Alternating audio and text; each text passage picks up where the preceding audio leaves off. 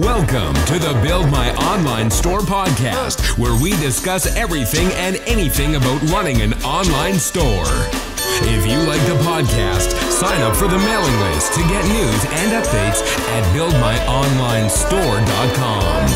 And now, here's your host, Terry Lynn. Welcome to episode 20 of the Build My Online Store podcast. I'm your host Terry, and today we have Danny Nardo from Nardo's Natural, and it's another follow-up interview I did with a business that was on the Shark Tank. Uh, Nardo's Naturals was on the Shark Tank in season three, and they are four brothers that started an organic skincare company out there in Florida. And so before we start, some news and updates about the show. We'll be starting our first online masterclass in middle of December.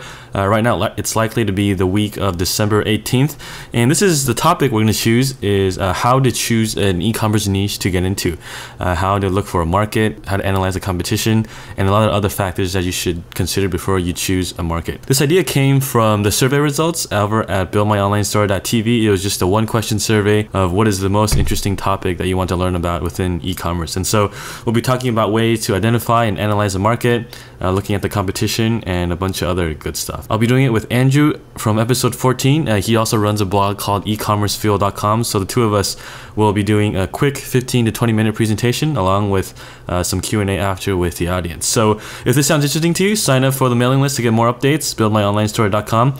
Uh, I'll be sending them the registration info and more details about the event through those channels. And stay tuned. And if you like the show, also leave me an iTunes review and let's get into today's show.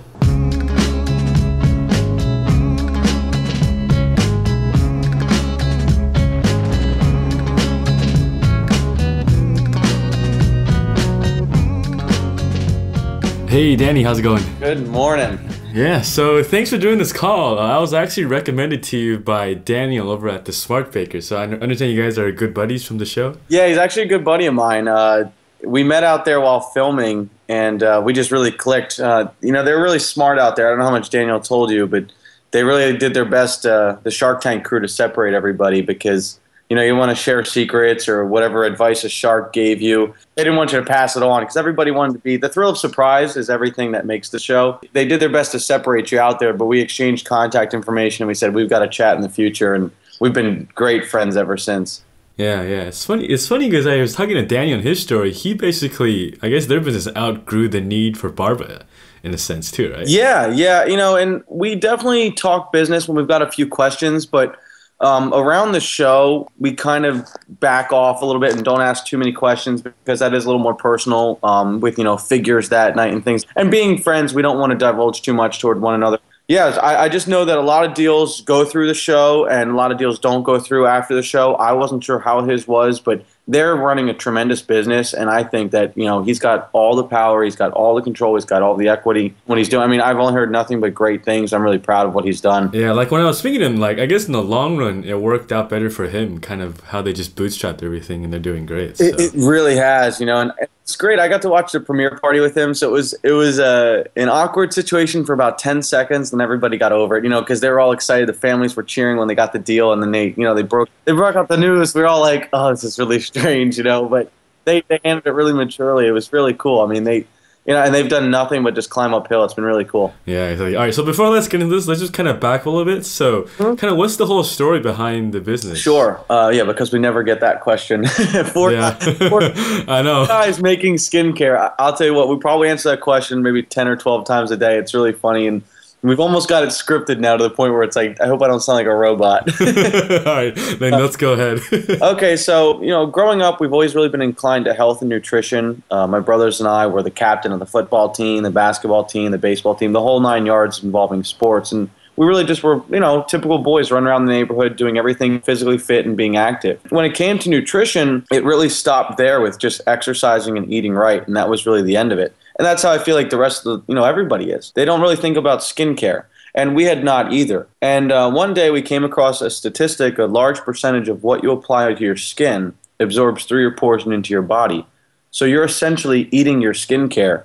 And we had not known this growing up, but you know, we did realize that conventional products on the market today, there's a lot of harmful ingredients and additives and preservatives in those products and we didn't want to put those on our skin, but we had to hydrate our skin and I live in Florida in the hot sun and we had to keep our skin healthy. And um, we were always cooking with organic oils, uh, grapeseed oils, coconut oils. We were cooking with organics, and we said, well, these organics, uh, back in the day, grandmothers always say, you know, put organic um, like olive oil in your skin. Well, why not put these organic oils on our skin and let's make a moisturizer? And obviously, we had not thought about a skincare line. Our friends were going to beat us up. They told us we were making a skincare line. We just really, in a sense, made a moisturizer for ourselves. And friends would come over the house and they'd yeah. what, do you, what do you got over there? You know, and we'd get some remarks on our skin and how it, it adjusted and really changed. And we didn't realize it because it's like when you lose weight, you don't realize that you've lost the weight until somebody sees you for the first time in a long time. And uh, anyway, so friends were coming with Ziploc baggies to take some of our moisturizer and put it in a Ziploc bag and take it home with them. And these are so, gu- these are guy friends, the guys and girls. I mean, and, and, that was the thing in the beginning. It was just a couple of brothers just making it very, uh, I don't know, just juvenile in a sense, but we were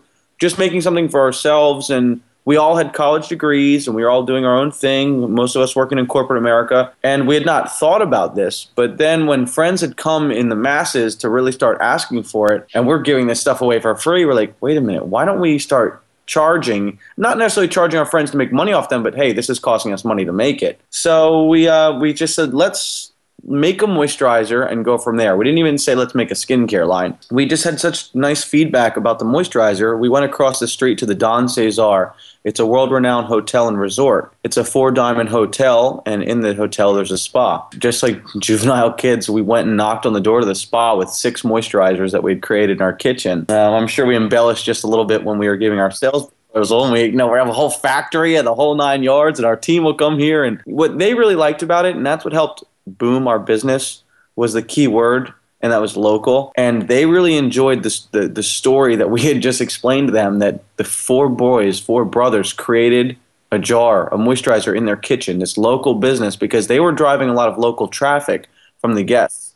And they just thought it'd be a wonderful story to share with people and it and it worked. Uh, within six months, that number that moisturizer was actually the number one selling product within the hotel. So we had to make a lot more in our kitchen after that. and you guys are out of your kitchen now, right? I'm sure. Oh yeah, we have out far out. We actually uh, we tell people it's a wonderful story to tell, but you couldn't operate out of your kitchen actually to get to that larger level. One for sanitary reasons, but two for room and such. We'd all be up to our ears in boxes and inventory. Wouldn't have time to make eggs in the morning. All right, very cool. All right, so before we get into it, let's kind of talk about the market a little bit. Um, so what's the difference between like organic skincare products versus like the big brands? Because I'm not really sure. Yeah. Okay. What the difference um, is. Well, one right now is the the thing about our skincare line, and one thing we say is it's a daily alternative. You know, it's a healthy alternative to daily skincare. And that's one of our taglines. It's a healthy alternative to daily skincare. And what we're saying there is the majority of skincare products in the market today I understand that everybody's really looking for that age-defying secret, and you know, making look like you're going to look. You lose ten years after your first application. A lot of that is malarkey. I mean, a lot of that.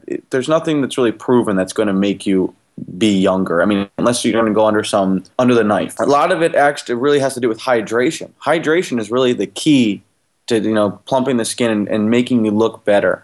And so that's really the skincare industry in a nutshell. However, we don't really expose and say, we're going to make you look 10 years younger after a 30 day trial. What we just tell people is, it's, you know, because we, we said, let's lose the song and dance and more or less just tell people we're just here to promote a healthy skincare line because we find that we're really looking toward a greener future, people becoming more eco friendly. People are really searching now because they're becoming more aware that products have the things just like we did. They're becoming more aware and saying, wow, there's parabens in this product, or there's preservatives that are harmful to me, or things that are mimicking breast cancer tumors in women. I mean, that's really harmful, and, and reports have shown it. So we said, guys, let's just raise awareness toward healthy products. We really just want to let you know that, hey, this is going to work and it's effective, but it's going to be good for you, and that's the most important thing. Yeah, and so all the big brands are basically just really good at marketing. Oh, it, uh, to be honest with you, that's actually been our biggest, biggest, biggest threat and big and the most difficult process of this entire business because we've never once changed what's inside our jar in these last three to four years. Never once changed what's inside the jar, but we've probably changed the packaging and the outside of the jar almost a dozen times now. And that's really the most important thing. It's like women, I, I hate to say it, and they do agree with me, they only care about two things does it smell nice? And does the box look pretty? And I'm like, what about the gold I'm giving you inside the product? You know, it's just wonderful stuff. We had that was our number one goal was that we had to change, and we'll get into that in a few in a little bit, but we had to change branding and a lot to just really hit that hit that home. And so, how big is the organic skincare market? Because I noticed organic products really took off and probably say like early 2000s or so? Yeah, I mean, it went from in just a few short years to like a $9 billion industry, I think from like 93, 97 to like a $27 billion industry. So it, it just plummeted. I mean, it skyrocketed. Yeah, and even with like the foods and like there's like. And that, I will say that is the majority of it, you know, uh, the foods, but I real uh, they definitely correlate because those people who are shopping for the organic foods, just like us, then became more inclined to shop for the organic skincare. Yeah, it's definitely a whole, kind of like a holistic, same living thing thing. Absolutely, and you know, and you and you see that with the Whole Foods as well. They're not going to just provide the, the the food; they have the skincare aisle right to the next, you know, right ten feet from you. Yeah, exactly. So, so what do you see as the big growth drivers in the skincare market in the next few years? You know, I think a lot of it is going to be just it's going to have to do with the wholesalers because I will say, you know, we've created the healthiest products and I really stand by them. But I can't say that I'm going to be able to compare to the CVS, the Walgreens, the the Walmart. I mean, their price. I mean, you're buying 24 ounce bottles for seven dollars, and in my bottles, they're not. I'm not an insane price point, but I'm selling an eight ounce bottle for twenty dollars, and it's hard when a consumer looks at mine and says, "Well, that one's three times the size for the same price, you know, for less than half the price."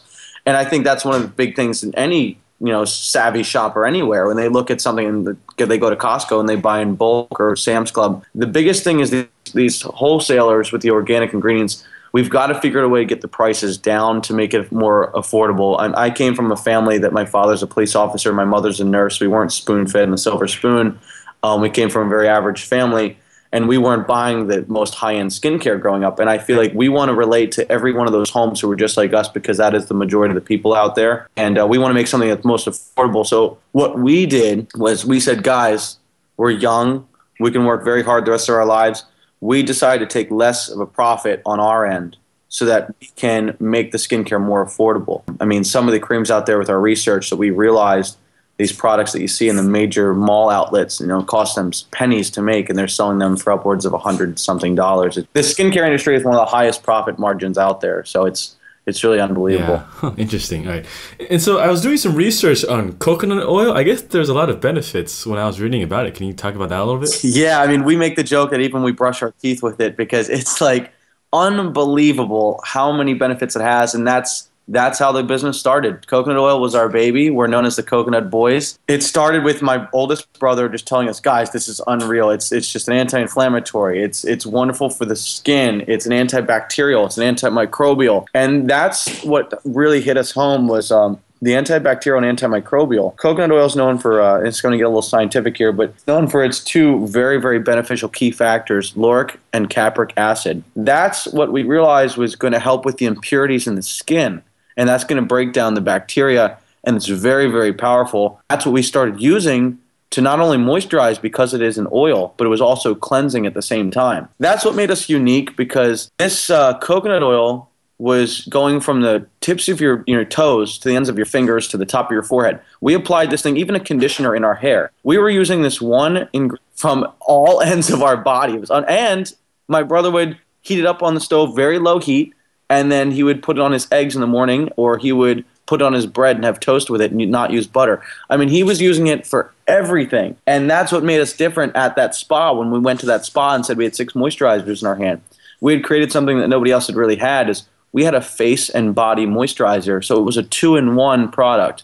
Whereas when you wanted to buy something at the store, you had to buy a face moisturizer and a body moisturizer. And we made that two in one that nobody had ever heard of before. And that's what made it such a big hit because it's so versatile. Yeah, I heard coconut oil is really good for like sunburns too. Yep, after sun care. And that's another that's another selling at the spa. That's a great one. And that being in Florida, that's a lot of the thing. The people are at these resorts staying by the poolside a little bit too long. People staying at these resorts, they drink a little too much and they get dehydrated, or they stay out in the sun, they get dehydrated. That's the number one selling factor actually at the resort, just telling them, hey, you put this coconut on your skin, it's going to bring your hydration levels right back up. It's just great. All right, so so let's let me get some free consulting here, okay? So I know you're not a dermatologist, but what are some common mistakes that uh, people make when they're doing skincare? Uh, in the in the natural and organic world, the biggest one is. Um, I would say consistency. And I don't mean consistency in terms of today we're going to do this, tomorrow we're going to do that, because that's business in general and a lot of mistakes people make. But consistency in skincare is the big uh, one of the bigger things that we have to deal with is holding our products together, and that was a big issue in the beginning. Um, because we're not using these preservatives that really bind the products together, we have to come up with ways like using thicker emollients like shea butter to hold the products together. Because I live in Florida and sometimes it gets up to up to 100 degrees, but then we'll ship the product to Alaska and it's down there below freezing. So I need to, and that was really one of our big issues also because I had to have a product that maintained stability um, because it had to deal with, and that and that we didn't realize early on because we were in our one climate here in Florida selling locally. So I didn't know what it was going to be like. And I had a customer in Pennsylvania one time and said they opened their jar up and it was rock solid. And, they, and I'm like, thaw it out, it'll be fine, you know. And I tell another guy in Arizona, I'm like, oh, put it in the fridge for a few minutes, you know. So it's liquefying. And those were the hurdles that we had to overcome were just the consistency with the product and the stability. And that just took a lot of research on our end um, we do work with chemical engineers now at this point, but uh, all the formulations are created by the brothers, and we're really proud of that. Wow! So it's gone from like making your kitchen to working with chemical engineers. Huh? That's crazy. Yeah, we tell people we went from uh, the kitchen to Barbara's penthouse. yeah, it's, it's funny that you say that because I was talking to another business that does organic food bars. Yep. Uh, I, don't know if, I don't know if you tried Perfect Food Bars before. Yeah, I've actually heard of them. Yeah. Yeah. So I interviewed them a couple months ago, and they were saying how when they first started making the bars, they're not like granola bars where they have these preservatives too, right? And they had to actually keep them refrigerated. Yeah, and that was actually, and I will say, um, because we worked at, you know, we started our business going to that hotel across the street and also the Saturday morning market. It's a little local market and we really enjoy it. We wanted to stay true to our roots, organic puns intended, because we just showed that the local traffic, that word I was, you know, keying on earlier, it really helped jumpstart our business and get us to where we're at and, th- and really pressing it on the local community. So we actually still go to this market no matter where our business is taken off to. We still go to the market on Saturday morning and work it, and each brother alternates a week. And what we do is we actually bring a cooler because it gets upwards of 100 and something degrees, especially with the sun beaming down on it all day in the sunlight. Typical skincare products don't sit there in the sun that long. So we do have a cooler from time to time just to chill yeah. them. Yeah, that's the cool thing about family businesses, right? You have kind of your whole staff is like your family and everyone can help out. Yeah, I mean, if you get mad at each other, you can punch each other. Yeah. It's okay. yeah, it was funny. The Perfect Food Bar story. They actually have 13 siblings, and they bootstrapped that all together. So basically, you know, they had their sales, their finance, their operations, all like all in the same family. I love the bootstrapping tales. I mean, that's so cool. All right, very cool. So let's go back to the beginning a little bit. Uh, what was the first product you guys made? Okay, it was um, it was called Luminous Lavender. What we had done was we created a concoction of coconut oil and lavender. And there was also a few other essential oils in there for skin benefits, but those were the two key components. When my, Kyle, the second oldest brother, when was younger, he had traveled to uh, France, southern France, and Nice, and he spent a few months there. And he had remembered this was before 9/11, but he had remembered uh, bringing back home lavender plant, uh, lavender on, the plane. Uh, you couldn't do that now, but he had big bushels of lavender carrying them through the airport terminal. And that was something that left a lasting impression in his mind because living off the land out there, he learned the benefits from the uh, locals. And he told them about they told him about the anti-inflammatory problem. And that was really a big one because uh, inflammation in skincare is really key because a lot of women the swelling occurs when they're sleeping at night or also they have cases of just redness in their face and lavender has a really big is a really big factor in reducing that swelling and reducing the redness. And also it's one of the most active aromatherapeutic qualities. So it's really calms the senses. It's a really big uh, de-stressor that people use especially in the spa industry. Uh, the second ingredient being coconut oil which we, we talked about earlier was dj's baby. Dj's the oldest brother so DJ mixed his baby with Kyle's baby, and he said, "Hey, we've got something great here." and so, did you guys go to the spa right off the bat with this product, or did you go around like with some friends first, or how did you yes. uh, really get the yeah, word we um you know before we really got the word out, and again we went to the spas just totally blind, and it, and I look back and I say those are some of the most fun days because that was before you had the accounting involved and the QuickBooks, and you've had your invoices. I mean, we were drawing up invoices on a loose leaf piece of paper, you know, and we learned by them that you know because you're in the corporate world over there with it's a Loews hotel. It's a very very accomplished hotel, and we went there in a pair of jeans, and they said next time you have to wear slacks to the meeting, you know, and they whispered to us like they could just tell we were very innocent and. And those are the things I'm never going to forget because it, it was a lot of fun. Just I don't want to say making up as you go, but just having fun with it and and not being so business minded, but more or less just really just a couple of brothers just having like, having a good time. Yeah, it was much more, I guess, carefree is the word you're looking for, right? Well, absolutely, because now you've got to worry about a lot of things. Um, you know, product liability and coverage. If someone slips and falls on one of my storefronts out front, you know, there's a lot of things in this world you've got to worry about, and it, that didn't occur to us at the time because we were just having, you know, it took some time, but then we had to sit down, and my father was like, "So, Dan, what if somebody has uh, an outbreak and they try your product? Like, what are you guys going to do?" And you know, thankfully, this hasn't happened to us yet, but we do have product coverage and liability because you do need to make sure you're always Yeah. secured. I see, I see. And so you got your first product out. How did you scale into new products? So basically, that spa really understood who we were after a few weeks, and they knew we were good, wholesome boys, and they knew that we were really trying to get this thing off the ground. And they really became our mentors, and they taught us the spa industry. I mean, we got the expedited course. We learned it so quickly. We learned how the spa is. I mean, I couldn't spell the word esthetician, and now I eat, sleep, and drink esthetician, and they're, they're the ones that give facials. so we really just had to learn the spa industry before we did a single thing, and that was really the advice they had given us because we came to them with a moisturizer, not a skincare line, and they said we need you guys to complete a protocol. You know, when you undergo a facial, they use up to 10 products in a facial from moisturizers to SPFs to uh, exfoliating masks and gel masks, tons of things that were, you know, way beyond us. We said, guys, we've got to probably go back to the drawing board and really figure this stuff out because we're not going to survive with just this moisturizer. And that's when we made that decision are we going to do this? And I remember us all sitting at the kitchen table together and we were like, oh my gosh, are we going to leave our jobs? And I had a secured paycheck and a company car. And it was just a really weird feeling, but also a very like excited feeling that at the same time we were going to take this leap of faith and we were going to do it together. And I think that was the most important thing is if we go down, we go down together and hey, we're young, we can try something different.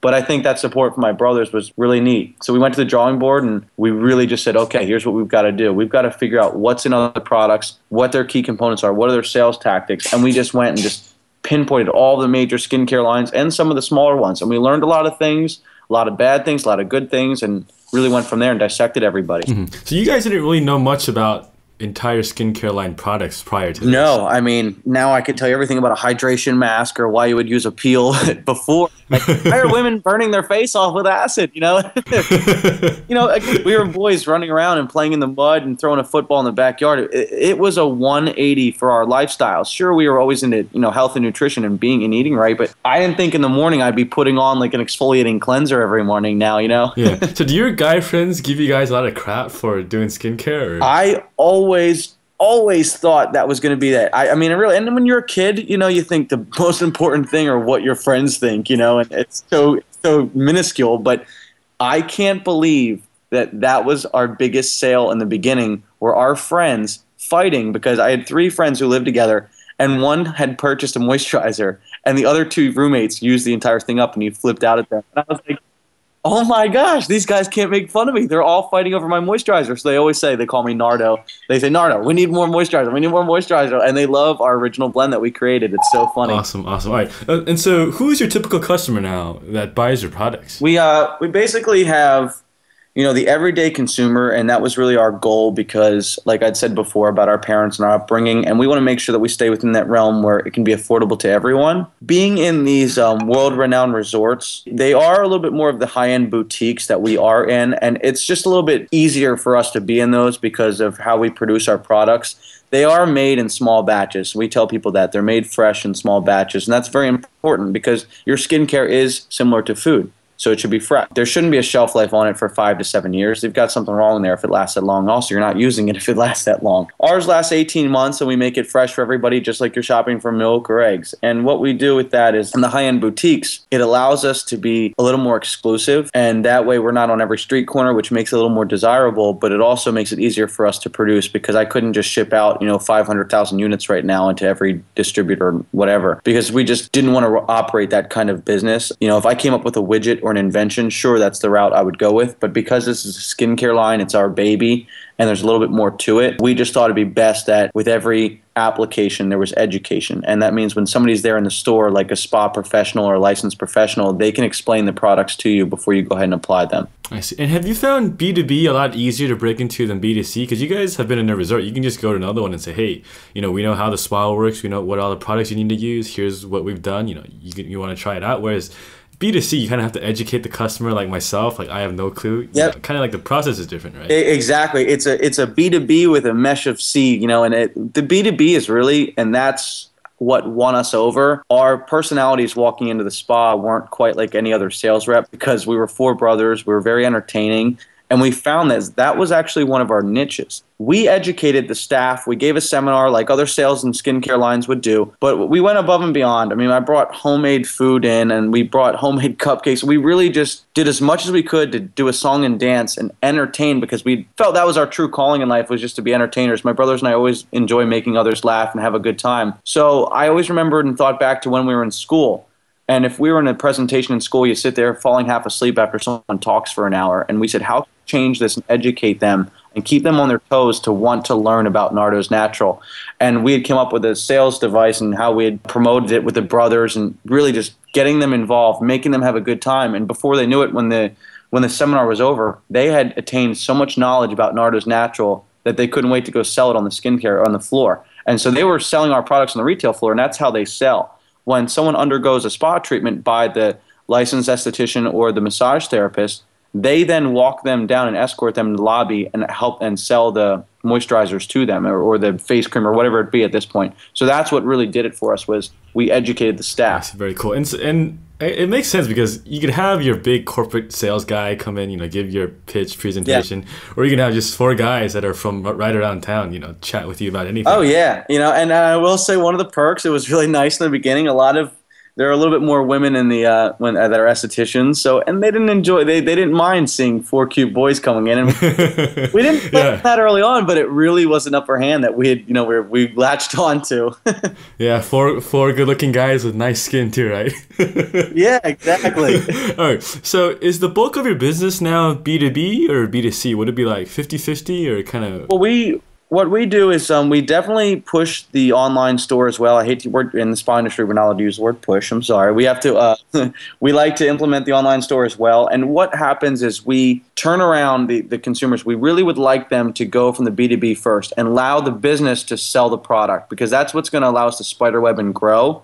However, when Susie stays at that spa and comes in from Michigan and she was here at the Don Cesar Resort, well, she can't just go to the Don Cesar if she left vacation. So what she'll do then is go to our website and repurchase, and that's what we've made, you know, accommodating to everybody. So that we found our repurchase rate for the recurring customer is extremely high, and we're really proud of that. But then they'll still go back to the spa the next time they're there on vacation and purchase as well, and we stay within the same margins so that it's you know you don't feel that you've gotten a deal on the website or you've gotten a deal at the spa, so that everybody's happy at the end of the day. Gotcha, gotcha. And so the B2C kind of is just the organic growth from the B2B now. Exactly. I see. Very cool. All right. And so for skincare products, do you have to go undergo medical testing, or what kind of what's the deal with that? Well, obviously, in the beginning, uh, it was coming out of the kitchen, and those are the Yeah. and those, and those are the, some of the things we talk about now. and we say, I don't want to say it was a lot more fun. It's not fun now. It's it's an awesome time here, but it's not as carefree now. And we absolutely go through the testing. Um, like I said before, we have an 18 month shelf life. We go through rancidity tests,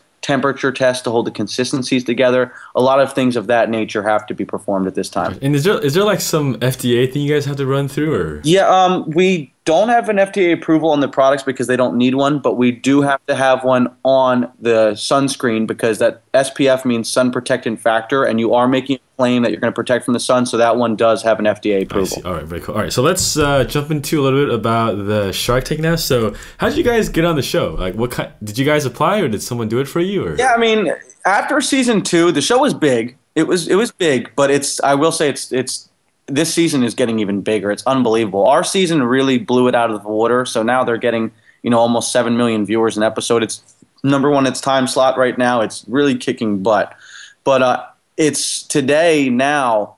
I feel like we've done such a good job. My and I don't mean me, but everybody on season three that it's turned into a great anomaly, and everybody is now lining up like they would on American Idol to audition. It wasn't like that when I auditioned last season.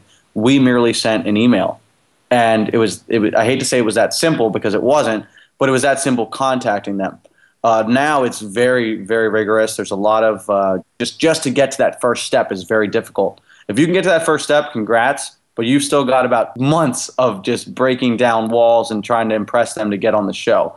Um, but yeah, ours started with a an email, and what we had done, and we told the New York Post this, and they really enjoyed the uh, the little tale we told them was we changed our signature on the email. The typical signature on an email is your name, you know, warm regards or whatever it would be, and your email, your your website, your phone number, you know, your contact information.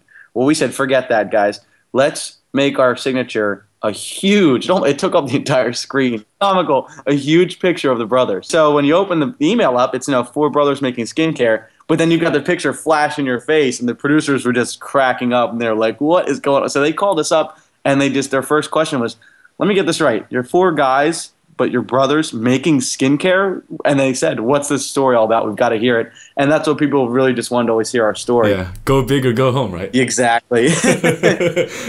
So i couldn't find your segment on youtube. Uh, kind of i know they don't air all of the segments right? They kind of only give you like 10 minutes on the show. Like how long were you guys actually in the tank for? um filming and that's where we felt that we had a good upper hand because what they tell you is when you go on the show obviously a surplus of people film because you know if something happens they need to have a backup slot or anything like that. So it was awkward for me because i did meet some people out there whose episodes did not air and they got to go out into the tank. Uh, it's got to be a really weird feeling. I had found out from our producers that you know you can be in the tank for anywhere up to five minutes or two hours. And we were there and uh, and he said if you're in there because no you don't ever get a guarantee that you're going to be on air you know, and they and they remind you that constantly. You just have to wait to see yourself on television that night. And we were in the tank for about two hours. We said, I think I've got a pretty good feeling here. yeah, because no one would spend two hours yeah. and, not, and not consider the deal. Whereas five minutes. Yeah, and also being that we had a deal with Barbara, we felt that we were in a little bit better position and had the deal and the deal that had gone through. So that would really that's what really helped us out too. So we thought, you know what, Barbara can use some leverage here to make sure we get on the air because getting on the air that night is, I mean, that's really that moment in your life where you're like, wow, this could be different from here on out, and it's really cool. And you just have that doesn't air, like some of those poor people that I've met, you know, nobody will ever know that you went out there to California. You're not allowed to mention it, and that's just really got to be tough on them. That's got to be a big secret to hold on to. Right, and so after you were on the show, did sales just blow up the next day? Were you kind of expecting like your website to just go down? Or? And Barbara said that too. She said 80, about eighty percent of the sites go down. Daniel Rensing aired the week before us, and I was so jealous because he had an unbelievable web team. Uh, he just he's really computer savvy, and I I attribute his you know he's just so I don't know I, I, I wish I could do some of the things he did on the computer. I'm so envious of it, and uh, we do call him for advice all the time on that stuff because that night he aired, he was just casually watching, having a great time, and the night I aired the next week, I'm freaking out. I, my merchant services are going crazy. My my website went down, then my credit cards went down. It was just unbelievable, and a lot of that comes with experience, and and I think Daniel really knows what he's doing when it comes to the computer world, and that's where uh, we definitely ask him for the most advice, and he he's really been helpful with that. And I think that's what's really been great from learning about these Shark Tank groups and becoming friends. You know, and then later on, you learn. Uh, we went on Good Morning America, and our products were featured there, and we had the just as a big, I think even a bigger spike and held up great and everything worked out wonderful. Yeah, all right. So, and so you guys got to deal with Barbara. Uh, what's it like working with a strategic investor like her who really knows like the female demographic market? You know, what she likes is, uh, or what we like, I guess I should say, is her experience is great. She admits that she's made the mistakes and done a lot of the things. She doesn't let us stray down that path. And there have been a lot of those moments already. And she's like, no, no, no, we're not going to make this decision. I did this back in blah, blah, blah. And it turned out like crap. You know, she's a straight shooter. And I think that it really helped us out from the, the process being slowed down and getting to where we're at and really just not making those mistakes that she had made in the past and, and using that, that, that history that she's had.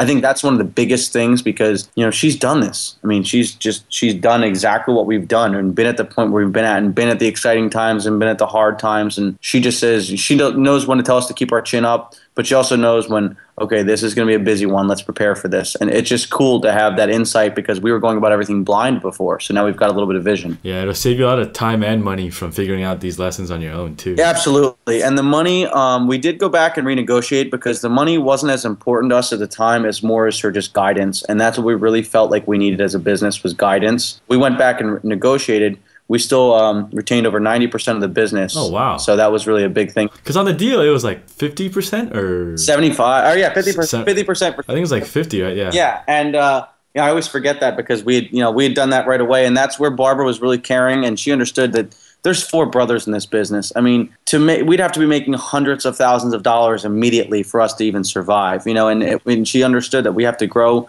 And that was really cool on her end. It took a little bit of negotiation, but she then said, "Okay, we're going to do this. We're going to do it together, and I'm going to give you guys the majority shareholder, and you know, over 90 percent because you got four brothers to split it up with. It's different when she buys one or two people's business, so it's a little bit, you know, she understood. And it was cool. Yeah, in long term for the relationship, it's more beneficial than to you know. Absolutely, absolutely. And it's funny because on the show, you see some sharks. Uh, they'll throw a higher equity percentage. Yep. Because because some of the people need more money, so they'll kind of use this to Yeah, kind of get you in, right? and, and that's what one of my brothers. A lot of people quote him in the in the community when they see him. We're not asking for your money for a handout, and that's what he said to Mark Cuban when he was yelling at him. But it was true. You know, we weren't looking for their money, and I think you do see that from time to time from other people go on the show. We just wanted guidance. Now, obviously, money doesn't hurt. You love money. I mean, I would love to have it, but at the time, I just said, and, my, and that's how my father kind of educated us, and he just told us, guys, don't think about the green. Just think about what they can do to make more green for you guys. Because if they're going to see that you're just going to latch off and try and get a couple thousand dollars more out of them, they're not going to think that you're really trustworthy, and they're going to think you're almost too hungry, that you're going to be too, uh, you know, self-indulgent. And they said,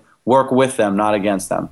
Yeah, and when you look at the cash they offer, like I was talking to Danny, he's like, I think he was offered like seventy five k. Yeah. Like that's a that's a joke for him now. yeah, ex- exactly. And that's the thing. And that's what people don't understand is some businesses made that in a matter of minutes on their airing of Shark Tank. But you don't know. You don't know if your, your show wasn't going to make it because you didn't give them gold on the episode. You know, you don't know what, you know, if that would have aired or not. So a lot you got to just put in the hands of fate. yeah, exactly. And so you said Barbara gave you some advice that you guys lessons from her end. So what is some advice, kind of like an example that she gave that you guys may have missed? I think well, one of the things was uh, our appearance was one of the big things because we were four brothers making skincare.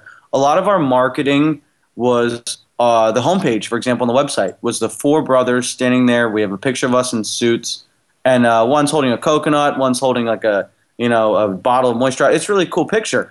But what she was saying there was that's great that you're four brothers making skincare, but as a woman going on your webpage right now, I immediately think this is for men because I'm seeing four guys. We've got to get rid of all this. She's like, put the egos down. She kind of made it laugh. But she's like, we need to start, you know, ingraining in these people's minds that it's really for women. And if the men choose to purchase, great.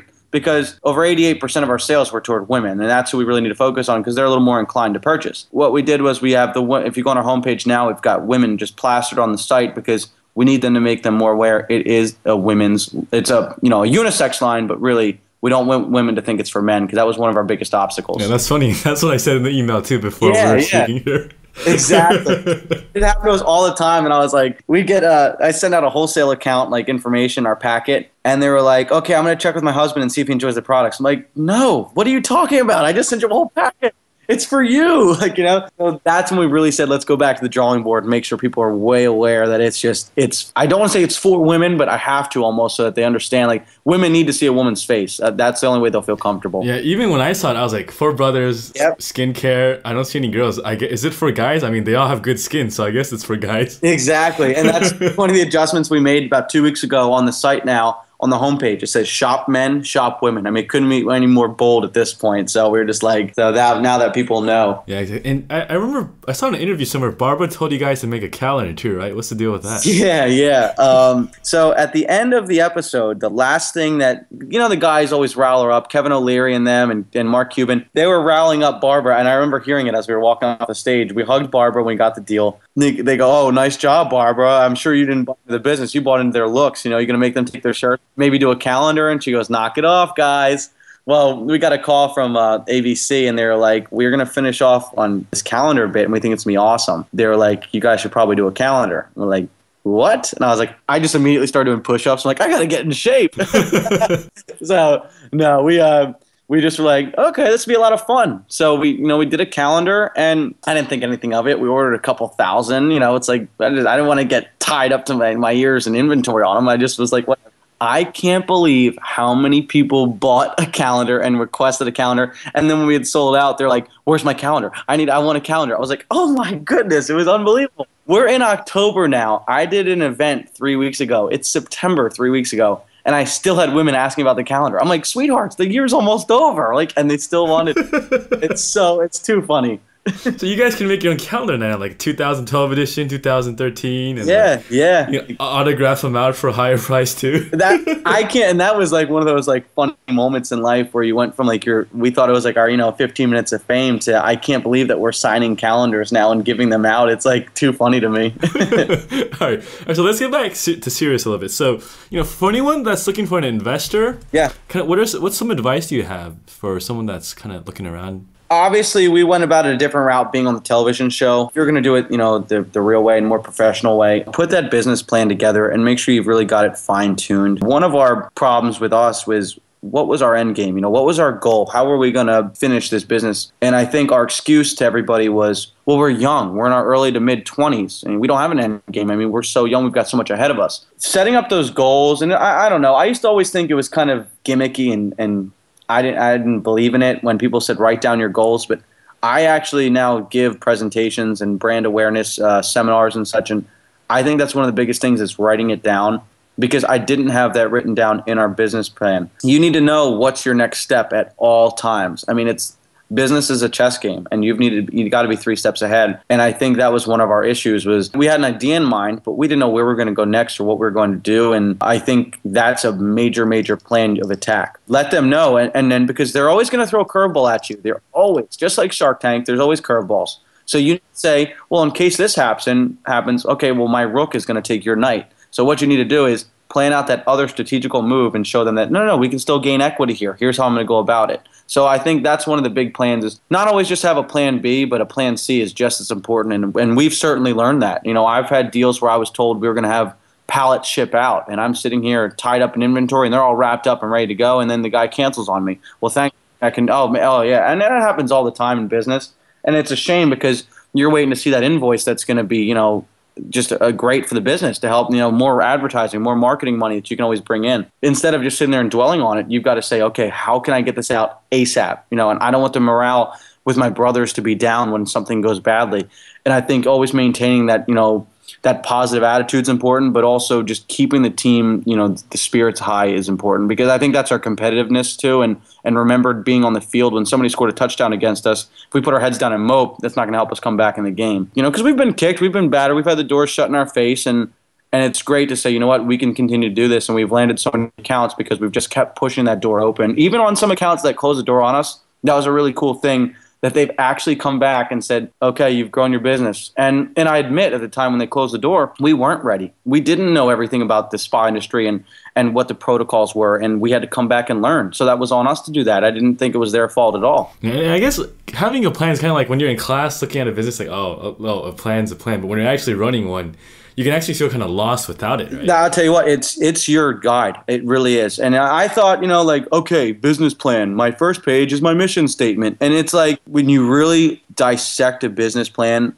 it really does help you because yes, that's your mission statement. But you know what? That's going to go everywhere where you need it to be. Or you need to know the dimensions of your logo and the font size under your for your logo name can't be anything below a 10 and when you really hold that consistency now using that word in the business way it's really important for marketing and branding and that's a little bit of my forte in the business is how we're going to label things and stamp things. I want it to be the most recognizable possible so it's got to be most you know symmetrical. It's got to be the same way everywhere. And i remember in the interview uh, you said barbara had a team of professionals that kind of just jumped in and kind of helped you guys kind of redo everything. What was that like? Well yeah i will say because we um negotiated you know this that was kind of pre-negotiating and then when we negotiated the figures she she didn't mind taking a step back because we said, hey, we still want to do this. We want the advice, we want the help. But my brothers and I, we, we were very true to what we said on the show. We don't want a handout. She's making us work for it, and we appreciate that because it's only making us learn and grow more. You know, if it were easy, everybody be doing it. And she had a team come in and help in the sense that here's what you guys need to do, here's what you guys should do it wasn't here's what we're going to do. It was it was that great guidance that we'd asked for but still allowing us to do that. And that's what i really liked because i still felt like we had control. She was more or less giving advice and just her opinion and we took it and ran with it. And i think that very helpful. And so these are her team that kind of advises her other businesses too, right? Yes, yeah, and then and now huh. the new thing, or not new, but what they're really trying to stress right now is working together. It's funny because we were doing that beforehand with Daniel, who's not a part of the team, but they want us to work together within the Shark Tank group. You know, for example, um, Pork Barrel Barbecue has got a barbecue sauce and things like that, and there's no preservatives It's uh, it's great for you. It's all natural, and so like that's something we could like tie in as like a free gift from time to time, and and do things like that. So Oh, so they just want you to kind of cross promote, kind of bundle each other together too. huh? exactly like yeah, mixed bikinis is uh, you mix and match and make your own bikinis. Well, when you're in a bikini, you're out in the sun, so they were thinking like we should do something with uh, our SPF and our sunscreen, so that you can package the two together and get a sunscreen with it. So things like that. Nice. Very cool, very cool. All right, and so let's move on to a little bit about marketing. So you guys have been on the show. Uh, kind of, what are your main channels since then that you guys use to market the product now? those big spikes are are phenomenal and we know that they're not going to last forever but that is one of the most uh, i think the biggest perk that barbara's helped provide is her contacts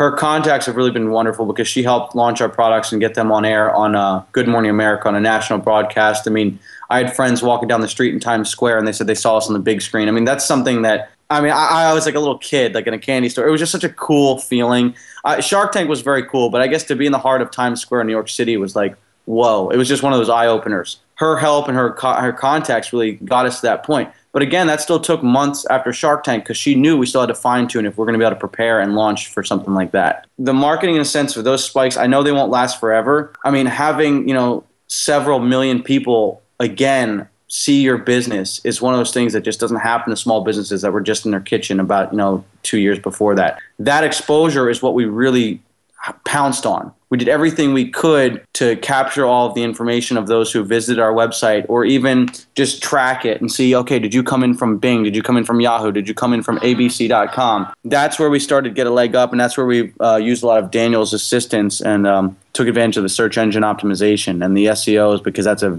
that's the wave of the future right now with uh, searching organic skincare on the internet or Nardo Brothers and having our website appear. Yeah. Uh, do you remember the paddleboard company that was on the Shark Tank too? Yep. Yeah. Yes. So uh, s- I'm I'm speaking to I'm speaking to him tomorrow actually, and I remember he was he was on the show and he said I have four of the top organic searches for paddleboards. I was like, holy shit. Yeah, that's crazy. I, I can't believe when you get some of those searches, how many hits you get from that. It's unreal. Yeah, and I and I tried to I type paddleboard anything. It was his site. Yeah. And so even if you paid money for Google to put you there, you would still be at a disadvantage. right? Yeah. It's Yeah. Crazy. And and he got st- stiff and got ripped on the shitter too. I kind of feel bad. for him. Yeah, I know.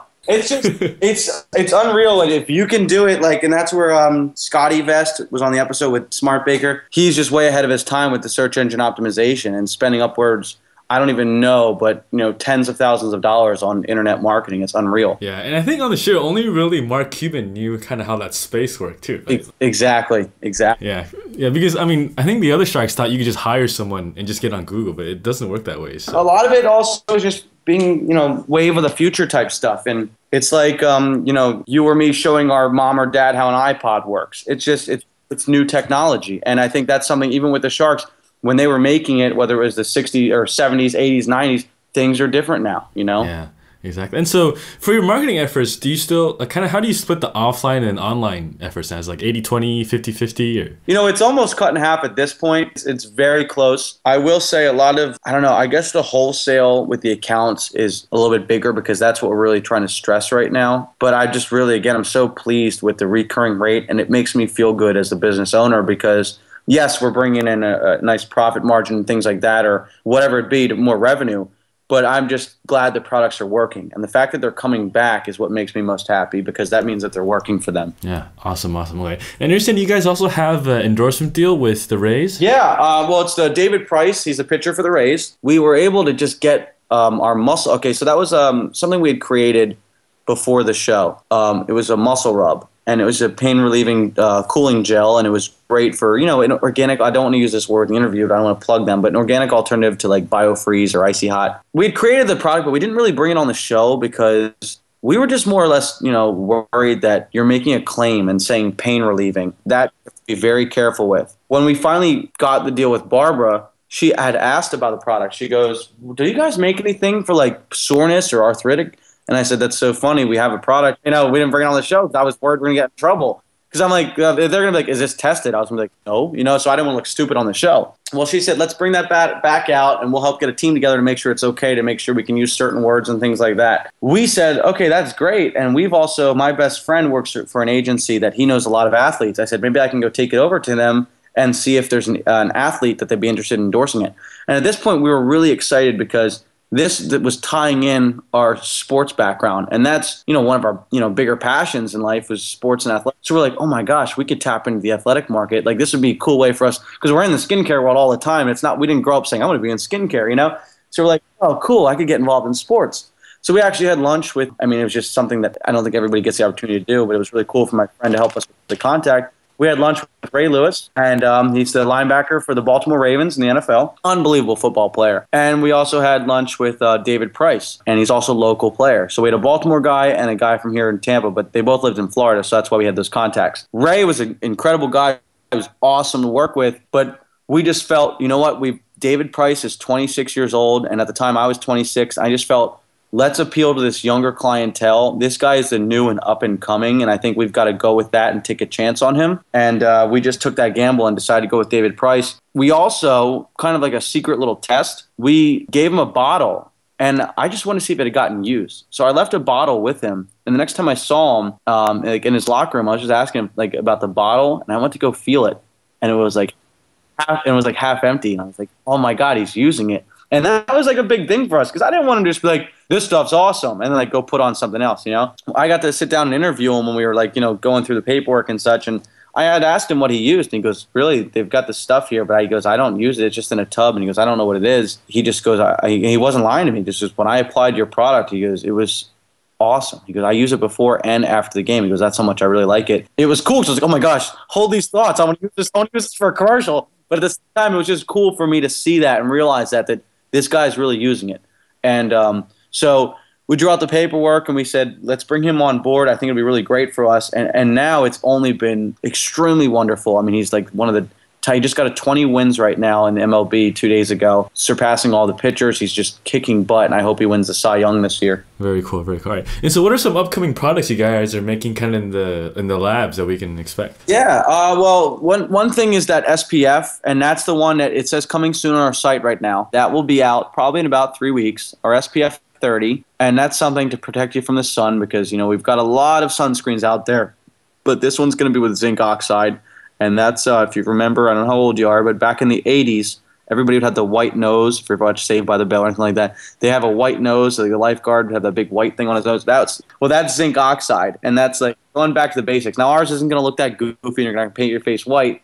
But that was one of the healthiest things to help protect you from the sun. Obviously, that went away because people didn't want to walk around with a white nose or white face anymore. It, you know, times changed. People wanted to absorb and they don't want to see it in your skin. They don't want to see it. And we've come up with a way to use the zinc oxide and have it absorb into your skin so you don't see the whiteness, but it's still there because that's one of the most protecting things that's healthiest for you to protect from harmful harmful UV ray exposure. Very cool, very cool. And so a lot of opportunities have opened up since being on the Shark Tank, but it also comes with challenges, right? So what are kind of some of the big things you guys are trying to tackle? I mean, a lot of people have reached out to us and you know telling us they can grow our business tomorrow and yesterday and do things like that.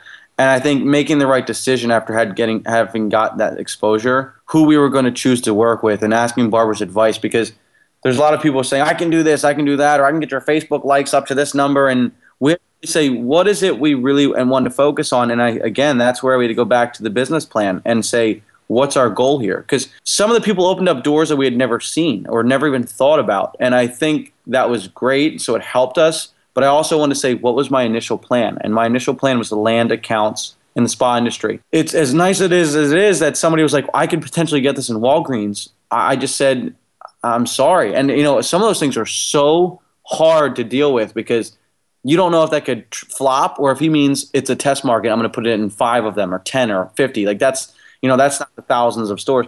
So those are things that we won't know, but I just knew that weren't the right decision for our business. And I think um, it would reflect poorly upon our business to go from a very reputable skincare line to be on the shelf at a local convenience store because it just didn't have that presentation. And I didn't want to uh, offend our customers. Yeah, I agree with you because anything you get at Walmart or like uh, CVS kind of feels like a generic drugstore thing, and you know, it really kind of cheapened your product and the whole image. I think exactly, and and that was one of the things where you got people promising you the world and telling you they can do this, that, and you, you've had to turn a lot away, and and that's what Barbara, I think, she gave us that little wink, you know, like you guys are in it for the real deal in the long haul versus that quick cash. You know, there's a lot of opportunities for us to do a lot of things where we could sell a bulk amount and that's it. And that's not what we wanted to do. I mean, even on Good Morning America, we still had them talk about the health benefits of the products and things like that. It was really cool. Yeah, and even like your typical customer that buys organic stuff wouldn't buy that much from CVS either. So it may even target the wrong people. E- exactly, and and that's one of my little key phrases. I my little quotes I came up with. My Danism is uh, it's one thing to be on a shelf, and it's one thing to sell on the shelf. And I think you can be on. I could be on every CVS or Walgreens shelf, but I personally feel that every customer is going to walk right by and buy the next one right to it because it's going to be way less expensive, and they're going to know that that's that brand by you know Vaseline or whoever it is. We wouldn't survive in a market like that. As, as nice it would be to say that I, I'm in a 10,000 stores, I don't think that would really mean anything. I think better being in a 100 stores. Yeah, what was I? It's better to be. It's. I gotta write this down. it's uh, it's better to be. It's no. Oh, now you got me confused. it's your line, I man. know. I use it all the time. It's a. It's one thing to be on a shelf, a shelf, and it's one thing to sell on a shelf. Oh, damn! I gotta write this down. Is it one thing to sell on a shelf? I'm deep. I'm deep. really deep, really deep line here, man. yeah, it gets. But no, I really, th- I, th- you know, I think that because when I was giving one of my seminars, that's I said it like just freely one day, and I was like, "Whoa, that is kind of true." Like, yeah, I could go be on a shelf and that'd be cool, but to sell on the shelf is a big deal versus just sitting on the shelf. You know, yeah, it's it's like a variation of like it's one thing to talk the path and the other thing to walk it. right? exactly. Yeah. All right. So uh, one more question: What's something you wish you knew when you were starting out? Oh man. See, this one always stumps people, so you can take a few Yeah. seconds. well, I was gonna say, do you have the rest of the afternoon? Every day, every day's learning experience. I think I just wish I knew a little bit more about optimization. I think that's where we had talked about earlier on. The night we were on Shark Tank, uh, another company before knew we were going on Shark Tank. They actually bought Nardo's Natural name, and when people Googled Nardo's Natural, their name came above ours. As a young business, those are things that we weren't aware of. You know, I mean, I was all I was excited, and there's a lot going on.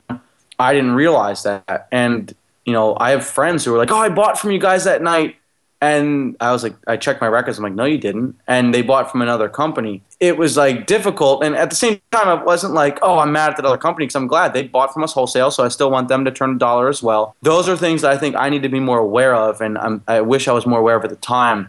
Where strategically, you know, picking my my advertising, my marketing, and my branding, and all those things that we can really hone in on our audience. Because the typical user on the internet, you know, they just click the first thing they see. They're not going to make sure it's not, it's not nardosnatural.com. If it says buy Nardos Natural here, they're more, you know, apt to buy it right there. And that's what a lot of people did. And that's where if I wish if I could do it over again, I really would have been on top of the internet marketing so that I really, really captured as many people as I wanted to. I was definitely thrilled with what I've captured, but I feel like I could have done a lot more. Yeah, but I think you guys have all these big links now. It doesn't really matter, right? Because I just searched, and you guys are number one now. Uh, yes, absolutely, and I think that, um, but a lot of that did come with us, you know, taking it, taking the ball and run with, running with it, and learning. And I actually um, politely asked the other company to take it down. They were very cool, and they, it was a learning experience for us, and, and that's what I really appreciated was working together and having a good business relationship. They did take down the ad, and I think that it was nice of them to do that, and I really appreciate what they did. All right, very cool. All right, and so for all the female listeners, are are all four of you guys single, or what's the deal? We uh, two out of four. All right. I can't tell you which two. well, I guess I could go to your website too to kind of guess, right? So where can we find you guys online? Yeah, you can find us at Nardos Natural. That's N A R D O S N A T U R A L dot com. Or you can Facebook us at facebook.com slash Nardos Skincare. All right, very cool, Danny. Thanks so much. Yep. Talk to you later, man. Bye bye. To get more information about running an online store, visit our website at buildmyonlinestore.com. Thank you for listening to this episode of the Build My Online Store podcast.